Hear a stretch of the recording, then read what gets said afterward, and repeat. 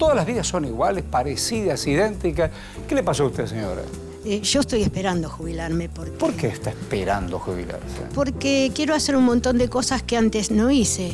Por ejemplo, teatro, pero a su vez tengo miedo.